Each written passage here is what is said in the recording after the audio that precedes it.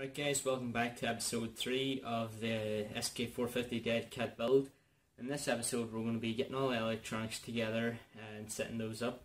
So first we're going to begin with the motors. I'm running NTM 2826 series 1200 kV motors. Uh, these are the shop's short shaft version and you have to get these little accessory packs with those. That includes like the prop drive and the nuts for mounting them. So uh, yeah, so the four little plates that we installed in the part two, you want to look at those and there's four holes in it and two of the holes uh, are wider apart and the other two holes are more narrow. And then if you look at the bottom of your motors, I'm um, not sure about other motors, but in the NTMs anyway, that is exact same. There's two uh, close together and there's two wide apart. So you just want to go to the underside of the quadcopter and uh, like this Let's go to the other side. Mount your motor on the top and just line up those holes. And uh, the screw, the little screws you want to use from the accessory pack is this here. And just four little silver screws, and you want to use those. And uh, yeah, so just use those, mount those on, and we'll come back and we'll finish off mounting to the top of the motor, and then move on. So let's get going. Okay, so now we all have the four motors mounted. Uh, I just got them and put the wires down through the frame because I'm going to mount my ESCs on the underside here. So that's just going to make it a lot tighter going along the bottom.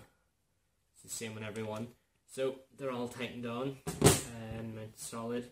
So now what you want to do is go back to your accessory packs where you got the uh, screws for mounting the motor and you want to get this little guy aluminium prop drive I it is and just along with that you'll get uh, three little three little black bolts. Again using the, the allen key uh, to screw them in. So you just place it on the top of the motor. I'll do it up here so you can see it better. Place it in the top of the motor and place the little bolts into each one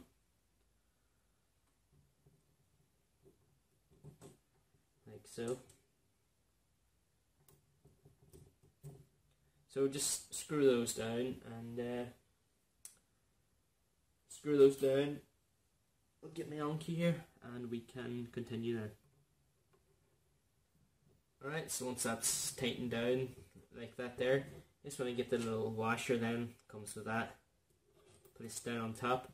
Your prop sits on here, then you get the little prop, uh, little cover out. Just get that, you put your prop on there, spin this down, top your prop, you can get a little, uh, your little Allen key in through this hole here, just put it in through and that gives you a bit of leverage to tighten it up. So I'm just going to hold them on now until we get our props on later on when we're testing. So do that to all four motors and we'll see you when we're back. Okay, now we have all the, um, the little prop adapters on the top of the NTMs. So that's to secure. These are only on this until we get our props on, but for motor testing you definitely want don't want the props on. Uh, now next step is going to be installing the ESCs. Uh, I'll be bringing all my wires into the center and like my wiring loom will be going into the uh, quad power distribution board. So uh, it's just bullet connectors going to each hole and that'll be very handy. So um, we'll just uh, play it, yeah, see to see what it's like. Um, so I'm going to have them on the underside as well as my motor cables are on the underside. I'll do it up here. Um, so we'll go ahead and connect red to red, yellow to yellow, and the black to the black. And then these will be resting under here. We'll feed the wires in through the little hole in here.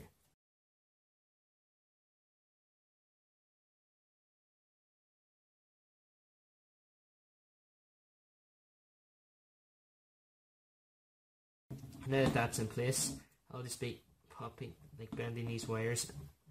ESC full forward, and just these wires, I'll just be popping them up here to the top.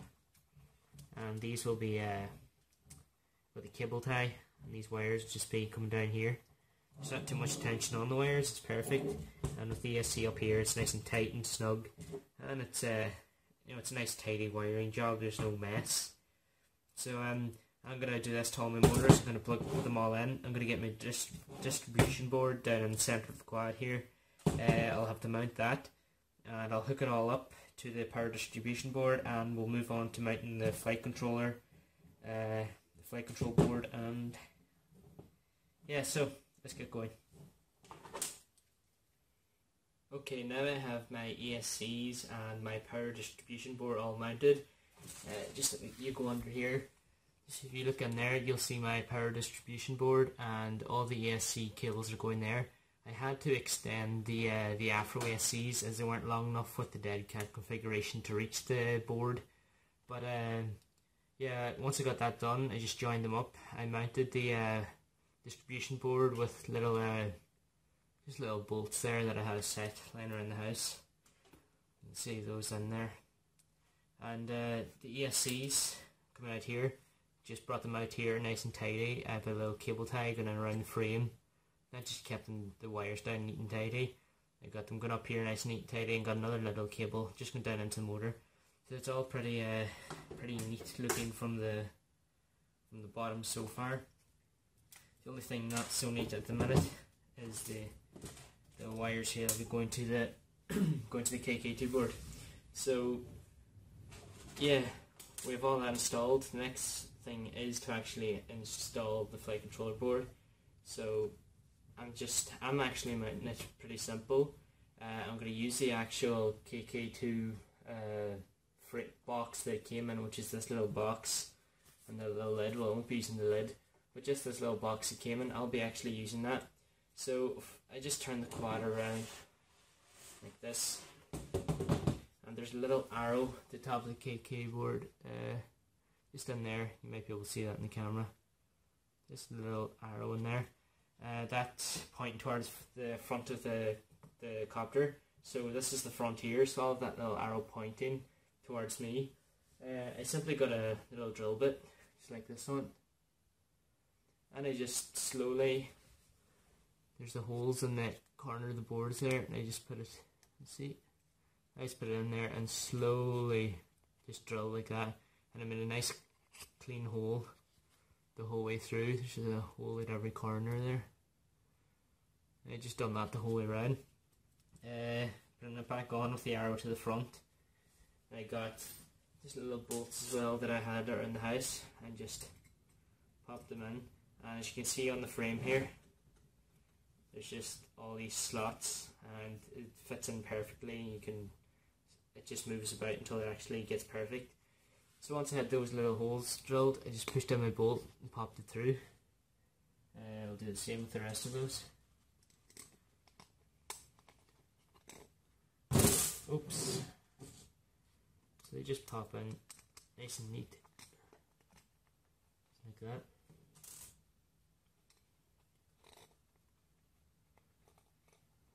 And the last one. So once they're all in, I just went back to the thing, ensuring that little arrow in there was pointing to the front of the quad, and just positioned it in, swinged it about. It's even on, even on, yep, it's even, perfectly even on every side now. I'll show you. There we go. It's perfectly even on every side. So, with that done, I just got these little nuts like so and just the underside of this where they pop out down in here that's the right angle just down there got the little nuts put it on there got a screwdriver and screwed it down. Just one tip if you're actually doing this method is don't screw down too far uh, don't screw down like tighten it too tight because it will actually bend the KK board and could crack it. So just tighten it with some Loctite or lock nuts until it's, it's very firm so I'm going to go ahead and do that now and uh, we'll come back and do the rest. Okay, now that we have the KK board successfully installed, um, I just went ahead and mounted my receiver here, it's Spektrum AR8000. I just done that so I wouldn't have to take up most of the video doing wiring. Um, I also got these uh, cables coming from each of your ESCs. These are little servo lead things. So each one of those coming from, from your ESCs you want to plug into the board and it goes from motors 1, 2, 3, 4. So this is the front of the quadcopter here. So yours will be number 1, 2, 3 and 4. So you get cable 1 first and let's get that coming through there. That's this cable here. It's this cable here and you just want to pop that in and upside down like that. Oops, there goes my receiver. You want to just slide that in there. They in upside down, so the little pins, these little pin, like the back of the servo lead will be facing the front of the quadcopter. So in like that there. And uh, I'm not in yet because I'm going to check is that motor 2. So this is motor 2 here, sorry. So this is motor 2 here, and this cable here, whichever one that is. So find out. Yeah, it's this cable here. So as it says before, just the way the back of the pins, and it goes in upside down like this. Pop that into the second set. Okay, that's number two. Number three is down here. One, two, yeah, number three is down here. So, just figure out is that the correct cable? Yeah, that's moving. Just turn that upside down as well and plug it in there. And the last cable here, obviously number four. Like that as well and just oops, wrong hole. And just slot it in there. Okay, so now your cables will be going number one, two, three, and four. And that is the way they should be laid out with the motors. Uh, on the other side, I have just mounted my receiver, just for less time in the video, and I've got all these little cables here. And all these cables are the male-to-male servo leads that you should have got when you were getting a KK board. And this is so you can connect it in here, this order, to your KK board. So you want to get just get these cables and these go in the opposite way. As you see those there go in with the little pins facing the front these go in with the little pins facing the back. So it's just a different way about it is. So uh, just once we get those, we'll do the order of this here and get them all out. Okay, now we're just going to uh, put the, servo leads in the correct order. I just have to go remember that there. So uh, at the top of the board, number one is aileron. So you want to get your aileron cable, and that's coming from here. Just get that. I'm just putting them in here for tidiness and I'll cable tie them up later. So you want to get aileron, and as it says, these pins, if you can see there, are all facing the front, as I told you earlier, and there they're facing the front. So this time you want the pins to be facing the back, like this. It's just aileron number one, top of the board. Want to just slot that in there. So that's number one. Uh, number two is your elevator, so let's get the elevator cable. And that goes here. So let's get that fitted up as well. And that's elevator. We just want to pop that in second slot. Again with the pins facing the back of the board in the little adapter. Um, and the third one is throttle. So here's throttle here. I think that's it. Yep, that's it. We'll get throttle, put it in the correct way. Just like that. Um, once you're throttling, you want to get rudder. That's the next cable. So, grab that, pop it in the same as the rest. And last but not least, your auxiliary one. So just pop it up through.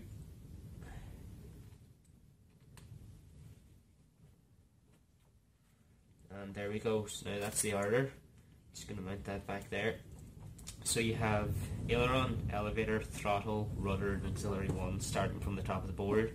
And over here you have motor 1, motor 2, motor 3 and motor 4.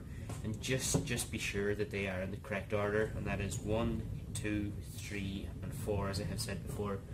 Um, so now that the KK board has all the wires correctly in place, uh, you'll just want to mount your receiver. I've already done that, as it says, just for the purpose of shortening the video. So, I have that mounted, my KK mounted, ESCs all mounted, motors mounted, and all the cables go into it. So all that is done. Uh, what's needed now is for setting up your KK2 board. Um, definitely not put on the props until all that's set up because that can be quite dangerous.